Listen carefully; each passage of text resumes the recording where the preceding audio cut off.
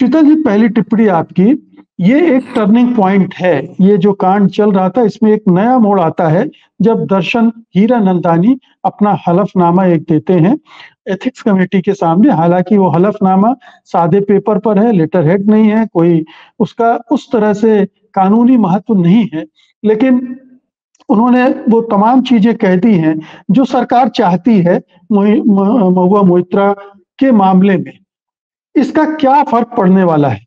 क्या आपको लगता है कि अब महुआ मोहित्रा पूरी तरह से सरकार के चंगुल में है?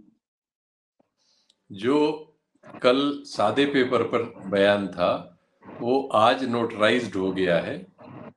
दुबई में भारतीय कॉन्सुलेट के सामने आज उसको नोटराइज किया गया है। वहाँ वो मिस्टर हीरानंदानी पेश हुए। और वहाँ नोटराइज करके अब नया बयान मीडिया को बांट दिया गया है। इस समय कई चैनलों पर चल रहा है।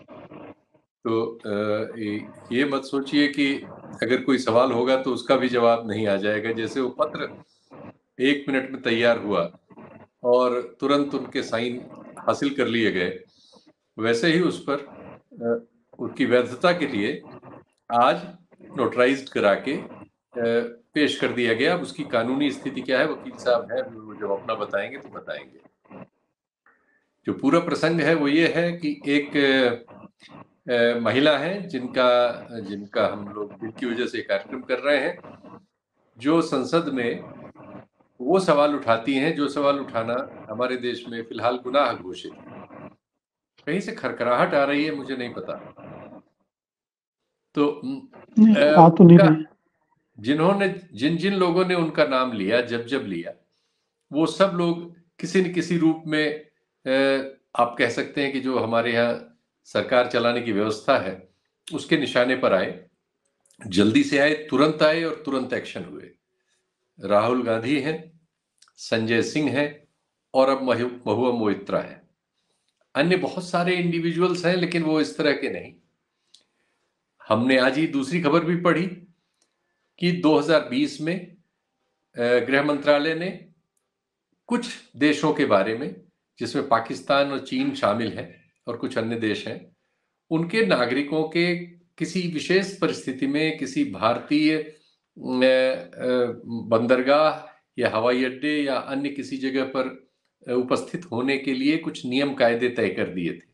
और वो नोट्स सबको भेज दिया गया था गृह, हमारे भारतीय गृह मंत्रालय की ओर से, जिसके अनुसार किसी ऐसी परिस्थिति में जिसमें आदमी कोई बहुत बीमार हो, उसे मेडिकल एड की ज़रूरत हो, ऐसे में हम ये ख्याल नहीं करेंगे कि उसके पास परमिट है कि नहीं है। हम उसे आने देंगे और हम उसका इलाज वगैरह का इंतज़ाम करेंगे। एक आध ऐसी शर्तें और हैं।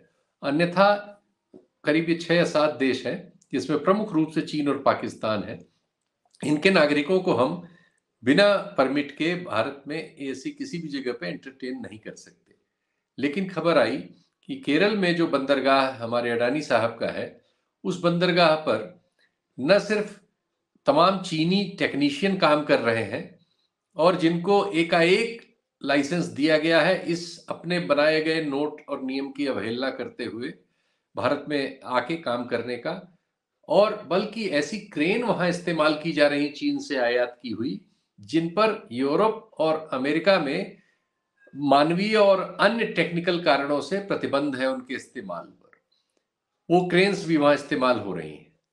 एक और ये परिस्थिति है। दूसरी ओर हम देखते हैं कि न्यूज़ क्लिक पर छापा पड़ता है और उसके प्रमुख और उनके दूसरे नंबर के प्रमुख को, दो लोगों को बाकायदा ऐसे कानून में गिरफ़्तार कर लिया जाता है जो आतंकवाद के लिए हमारे यहाँ प्रयोग करने के लिए बना है।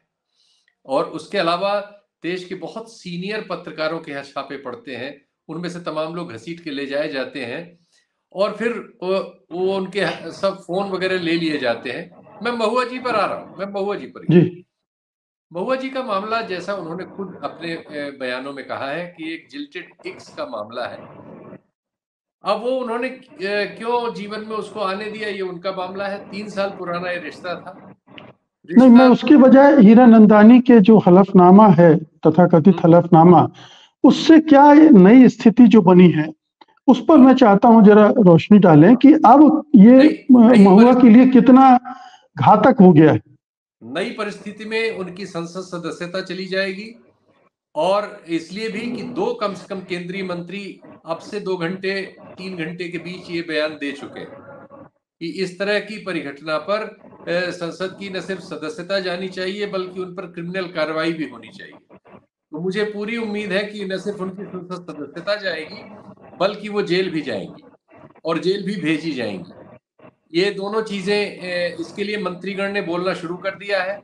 सोशल मीडिया पर उनके जो सैनिक हैं, उन्होंने सुबह से शाम तक करीब चार बार ट्रेंड चलाया है, जिसमें उनकी क्रॉप की हुई फ़ोटोज़, जो उनकी निश्चित तौर पर उसी एक्स ने पब्लिक को दी है। कुछ वीडियोस जिसमें वो कुत्ते के साथ अपना स्नेह प्रदर्शित कर रही हैं। और कुछ अन्य इस तरह के वीडियोस जो है, वो पब्लिक डोमेन में डाले गए हैं और उन पे कैंपेन चलाया गया है। उन्हें एक, शराब पीने वाली, सिगार पीने वाली और शशि थरूर से चिपटने वाली एक फ़ोटो को क्रॉप करके लगाया गया, जिसमें एक्चुअली वो वो और शशि थरूर की बहन अगल बगल खड़े हैं। बीच में शशि थरूर है, लेकिन उनकी बहन को हटा दिया गया है। और सिर्फ़ उनको उसके साथ करके प्रचारित किया गया है। और चार ट्रेंड जो आज हुए हैं चारों में वो फ़ोटो बहुतायत से है और सारे ऐसे हैंडल उसको यूज़ कर रहे हैं जो घोषित तौर पर और सब जिनको जानते हैं कि वो बीजेपी के लिए ये काम करते हैं और लंबे समय से ये काम करते हैं। तो, तो अब जब मंत्रियों के भी बयान आ गए हैं एक उड़ीसा वाले जो मंत्री हैं उनका आ गया है।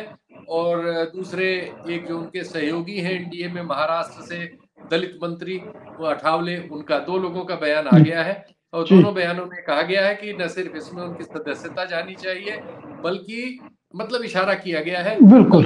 उसमें क्रिमिनल कार्रवाई भी होनी चाहिए। सत्य हिंदी का ऐप डाउनलोड करें गूगल प्ले स्टोर पर।